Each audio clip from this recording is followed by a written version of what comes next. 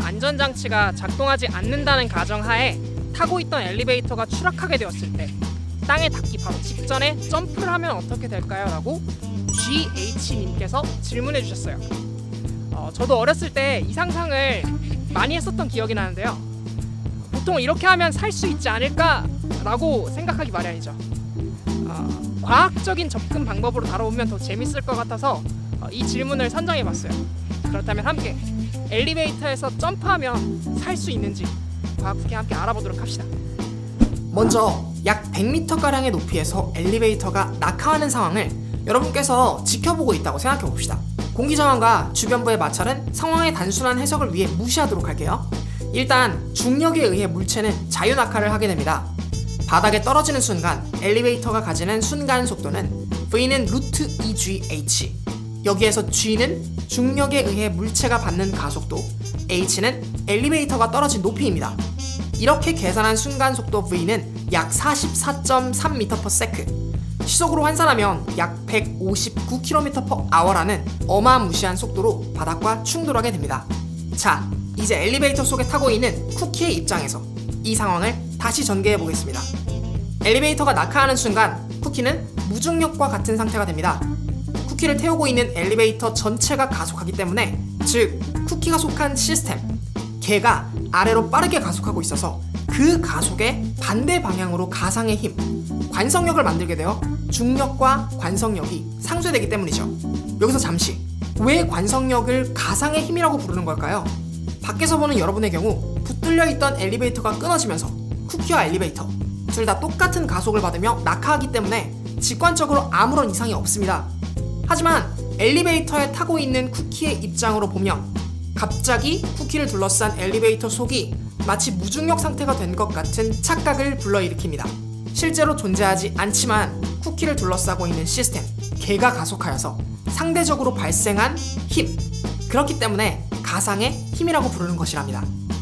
이제 본격적으로 엘리베이터가 바닥에 닿기 직전에 위로 점프하는 상황을 생각해 보도록 하겠습니다. 엘리베이터 속에 있는 쿠키의 입장입니다. 무중력 상태같이 느껴지는 공간인지라 최대한 아래쪽에 몸을 밀착시켜 있는 힘껏 바닥을 디디고 점프합니다. 이때 기대할 수 있는 점프로 만들어낸 속도는 보통 사람이 50cm를 뛸 수 있다고 가정했을 시에 유도 가정은 다르나 역시나 V는 EGH 여기에서의 V는 점프한 바로 그 순간의 속도 H는 도달할 수 있는 최대의 높이를 나타냅니다. 계산해보면 3.13m/s 시속으로 환산하면 약 11.2km/h의 속도를 가지게 됩니다. 그렇게 해서 충돌의 직전의 순간 점프를 통해 바닥과 멀어졌으니 충격은 바닥이 다 받고 쿠키는 살 수 있을까요? 아니요. 천만의 말씀입니다. 이제 이 모든 걸 다 지켜보고 있었던 여러분의 관점입니다. 엘리베이터는 바닥에 닿기 직전 약 159km/h라는 엄청난 속도를 가지고 있습니다. 그렇다는 것은 엘리베이터 안에 타고 있는 쿠키의 속도 또한 약 159km/h라는 의미입니다.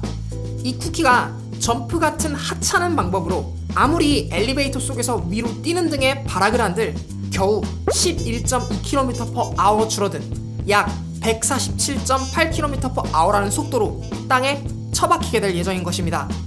그렇다면 그나마 생존하기 위해서 떨어지는 엘리베이터 속에서 우리가 선택해야 하는 방법은 무엇일까요? 그에 대한 해법은 두 가지입니다.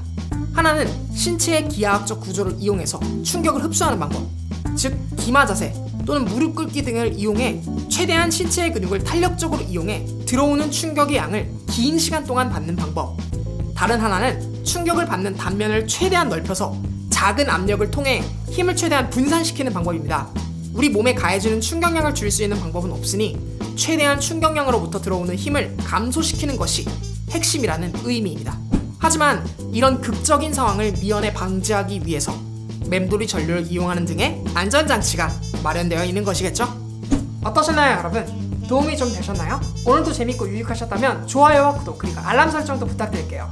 도화주세요는 일상 속에서 발견할 수 있는 과학적 재미난 요소들을 그림을 통해서 설명해드리는 코너입니다. 여러분들이 일상 속에서 만날 수 있는 재미있는 과학 현상을 댓글로 남겨주시면 그 중에 좋아요를 많이 받은 댓글을 선정하여 여러분께 설명해드립니다.